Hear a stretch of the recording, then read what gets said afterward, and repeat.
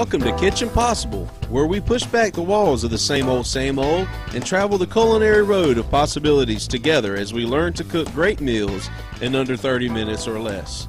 And as always, taste the love.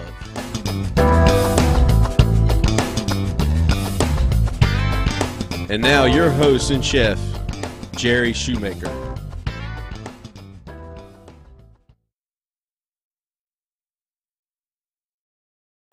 Welcome to Kitchen Possible.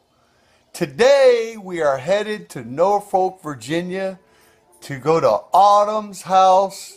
She's my niece, she's in the Navy, serving our country. Thank you for your service to our country. Anyway, we are headed to Norfolk, Virginia today to cook in Autumn's kitchen. We're going to make French toast souffle, and we're going to make crab ragoon, such as promised, and we're going to do it all in Norfolk, Virginia, the Virginia Beach area at Autumn's Kitchen. So follow us to Norfolk. That's right. Welcome to Kitchen Possible. Sorry it took us a few weeks to get this video out there, but now that we're back on track, look forward to some wonderful things yet to come. All right. Join us in Norfolk, Virginia. And remember, taste the love. Hi. Welcome back to Kitchen Possible. Today we are at Autumn's house in Norfolk, Virginia, or the Virginia Beach area. That's right, my niece is in the Navy. And we, she has offered to give us her kitchen right here, Kitchen Possible. And we are going to do the promised souffle. That's right, we're going to do a French toast souffle right here at Kitchen Possible. And we're going to show you exactly how to do that. It's real simple. And there's a little process, so pay attention. Hold on to your seatbelts. And remember, don't cook anything the same old, same old. Extrapolate from your comfort zone. Push back the walls of the same old, same old. And get involved with your kitchen. Become one with your bread.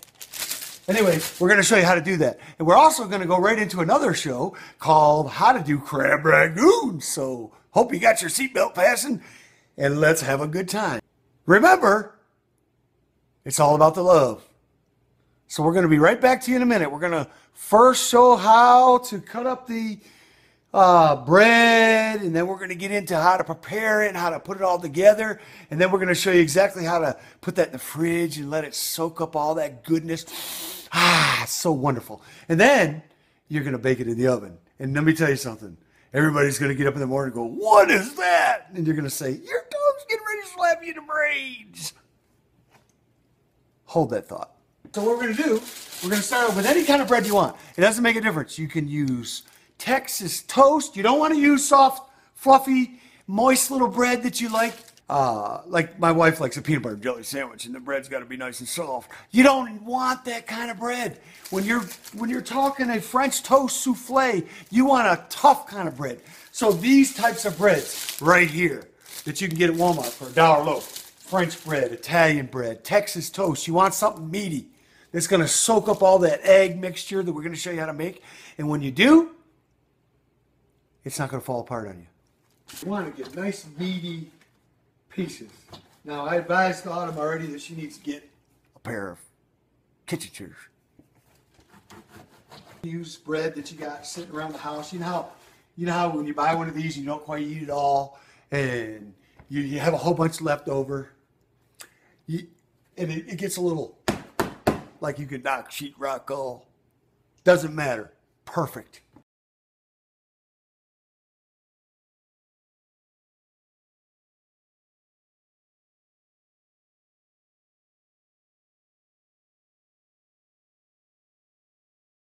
Welcome back. All right, now that you have your bread all chopped up and placed in these pans right here, uh, remember, I said you can use any type of bread you want. You can use Texas toast. You just need something meaty. Nothing soft because it's all going to fall apart become mushy on you. Don't want mushy French toast. You would like good, hearty, awesome tasting French toast. All right. The next thing you're going to do is you're going to make up your battered mix to put in and pour over the French toast. And then you're going to refrigerate for a while. And then after we're done refrigerating, we're going to bake it off and we're going to show you the rest of it after we're done. All right, so what you're going to want to do is crack up a bunch of eggs. And if you're making two pans, you're going to want eight eggs per pan. You're going to make this mixture twice. I'll make one, then I'll do the other one without being on camera. So we're going to put in eight of these eggs.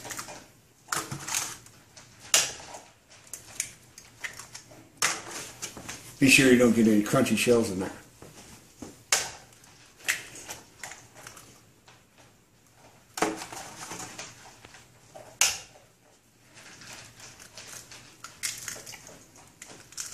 All right.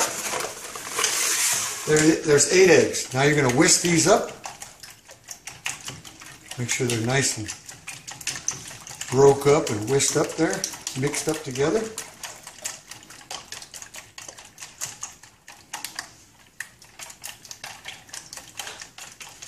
And then in this mixture, you're going to add some vanilla.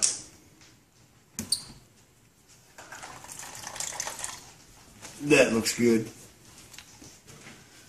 Remember, everything's based on your taste. You don't need to necessarily measure anything. Throw in a little cinnamon. And then you're going to get some heavy cream. Now, if I get a container this size from Great Value, From Walmart, that is. and I'm making two pans, I'll probably use half of this for each pan. Because I like it nice and creamy. And then you're going to use some whole milk. Top it off. Maybe a cup and a half or two. Step up here, Debbie. A little bit closer. And you're going to want to whisk this all together. Now the butter or margarine, whatever you depend on how you want to use, whatever you want to use, and flour and brown sugar is going to be our crumb that we're going to place on top. But once you mix this mixture up, you're going to pour it over each pan, and then you're going to refrigerate. Typically overnight. You're going to take this mixture and just begin to pour it, trying to cover a lot of the pieces.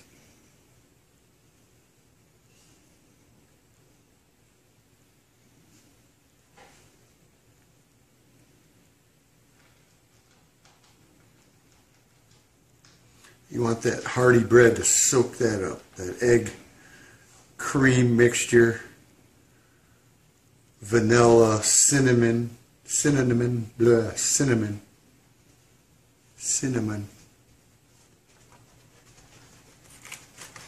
What's a cinnamon for cinnamon?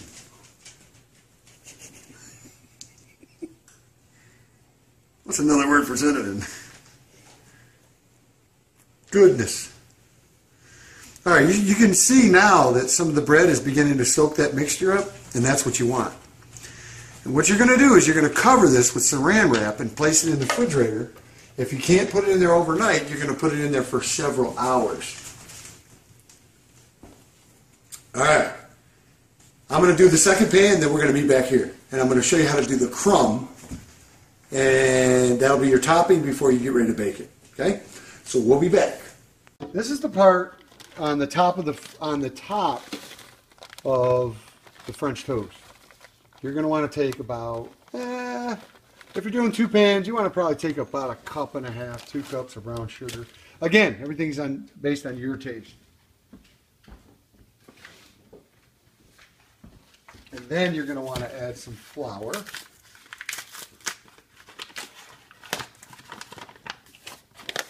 To your crumb mixture, maybe about a cup, cup and a half also. I kind of eyeball everything. And you want to cut in some very cold butter or margarine, whatever uh, you desire to use. And at this time I have margarine. And you want to be able to cut this in. So you want it kind of cold. Keep your sticks in the fridge until you're ready to use them. And you want to fold all this together to make a crumb. And you want to keep that in the fridge overnight as well. But because in the morning when you get ready to bake off your French toast, souffle, you're going to want to crumble this all over the top and make a nice crumb top. My wife and all her friends at work really loved the souffle. That was the first time I made it. And I promised them that I would show them how to uh, prepare this. So that's what we're doing. Only we're in Norfolk, Virginia at my niece Autumn's house. And this uh, butter's not cooperating. Here we go.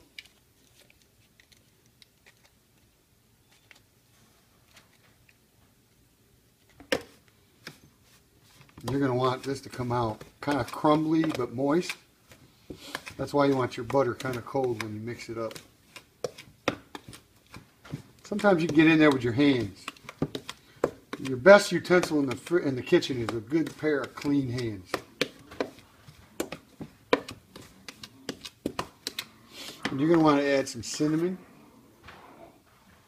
to this mixture.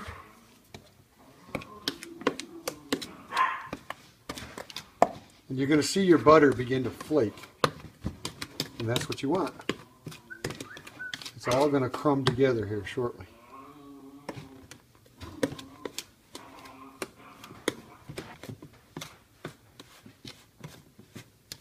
That's, and there you have it. This is what you want.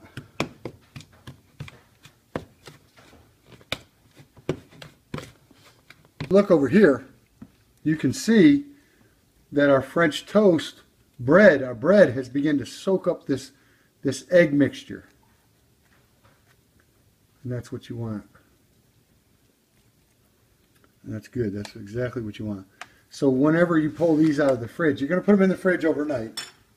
And then when you pull them out of the fridge, you're going to begin, after you heated up your oven, you're going to take this crumb sprinkle and you're going to sprinkle it all over the top here.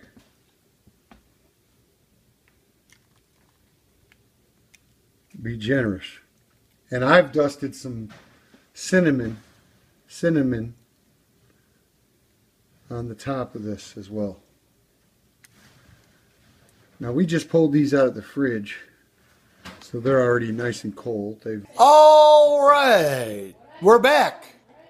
Guess what? We just got done pulling these uh, French toast souffles out of the oven. We're going to take a look at them just a minute. Boy, they they smell really good. I'm telling you. Your tongue will be slapping you directly in your brains. You need some hot syrup, a nice plate, and a hearty appetite. Here, let's take a look. And there you have it. French toast souffle right here at Autumn's Kitchen. Right here, at Kitchen Possible.